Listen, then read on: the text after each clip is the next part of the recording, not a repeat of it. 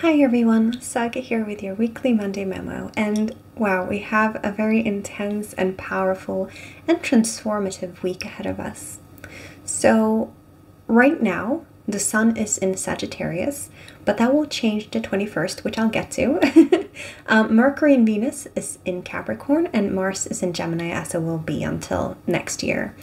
Um, and of course, Capricorn is a very hardworking and very stoic almost sign. So, that means that there's a lot of that sort of energy surrounding us, especially when it comes to our thoughts, our communication, and our relationships.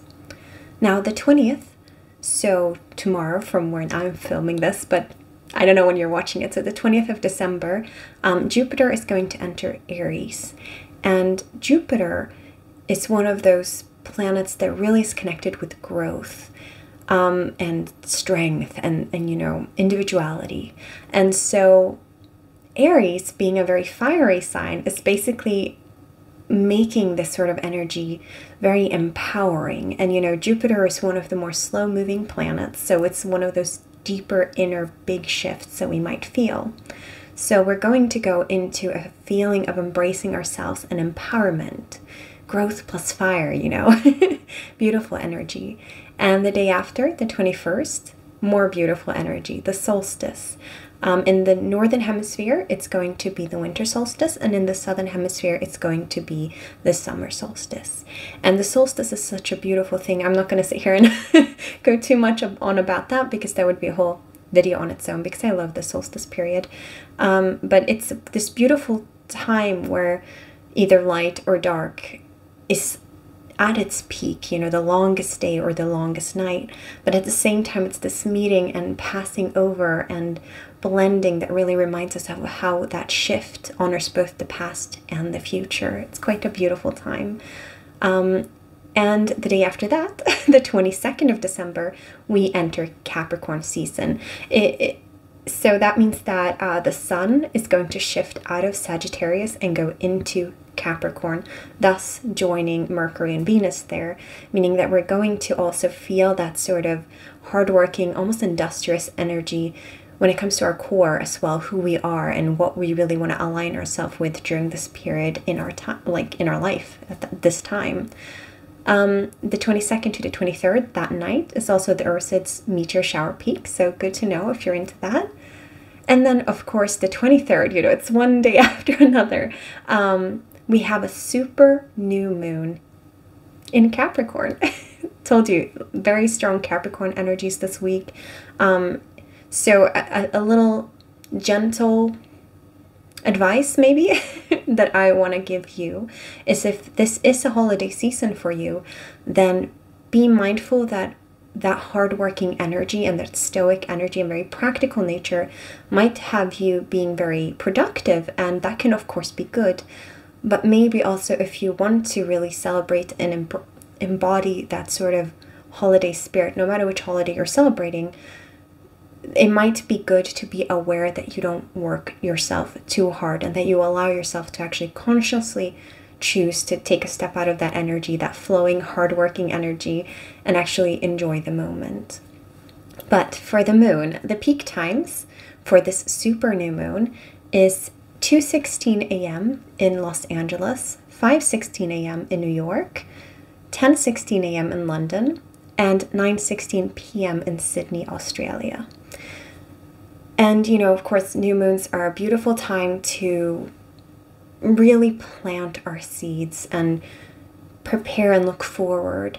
And because it's also so close to the solstice, and of course, our more modern traditional view of the calendar and our modern sense of the shifting of the year, it might be a beautiful time, especially with it being a super new moon, so the energies are more intense, to really, really sit down and look ahead. But in doing so, also, of course, look behind you and see what's happened this year and how far you've come and which areas you've grown in and which areas you maybe haven't grown in as much and what worked, what didn't work. And from there, from this conscious place, plant those seeds for what you want to grow going forward. Um, and, you know, especially with that Capricorn energy, if it's things you want to really work on, be it literal work, um, a career or such, or where you really feel like you need that sort of structured energy, tapping into that this super new moon is a beautiful time to do so. and yeah, that's pretty much this week when we're talking about the more astrological side, side of things. Of course, as always, I've drawn a card um, for some of you. And this card is a bit more of an emotional one, if you can see. Uh, the card is I'm sorry. And the words or phrases on it is defenselessness, righting past wrongs, and uprooting. So, with this period of shifting, of looking back so that we can move forward, it's of course also a time where a lot of feelings can and probably will arise. Um, what I forgot to mention is that the 23rd, Chiron also goes direct, and Chiron is, you know, the wounded healer. And so when Chiron is retrograde, we might have a lot of things bubbling up to the surface and a lot of situations that are challenging us in the areas where we maybe have felt that we've healed a lot already and they're getting reopened, or in places that we haven't really addressed and have remained unhealed. And so, with Chiron going back direct, that means those wounded healer energies are flowing more smoothly.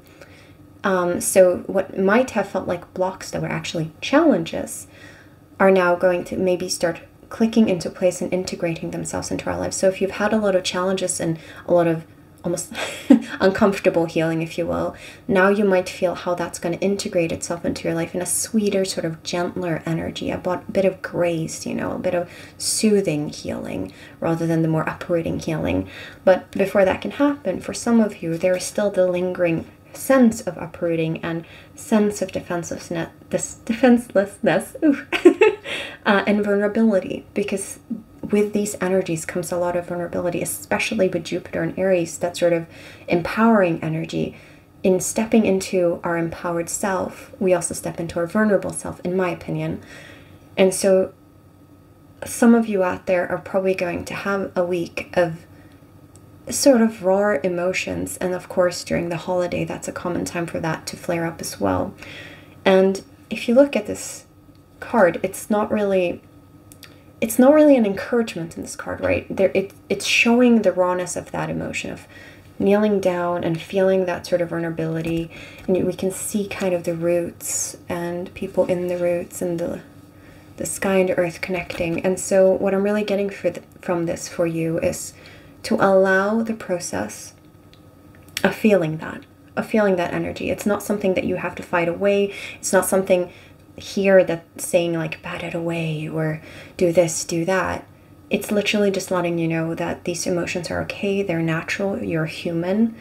And a part of the process of growth is to feel those moments and to feel defenselessness and all that stuff. And if anything, this is your chance to, it says righting past wrongs on the card, but I would use the words of healing your wounds no matter how that looks for you. It could be forgiving yourself, it could be forgiving someone else, it could be release, it could be processing something in a different light, whatever it is.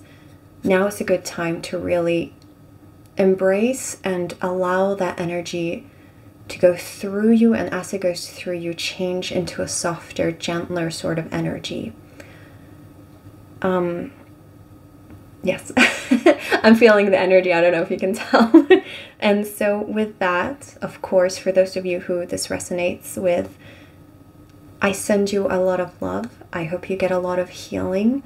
I hope you can find, if you look, this is very beautiful. There are heart chakras, heart centers, no matter what, what you call this area for you, are lit up among a lot of other stars. And of course, with the solstice, there's also this idea that light is reborn in the winter or in summer, you know, it's at the peak. So I really wish for you to have a lot of that feeling of light so that you can pass through this hard time and heal. And with that, I wish you a beautiful holiday season.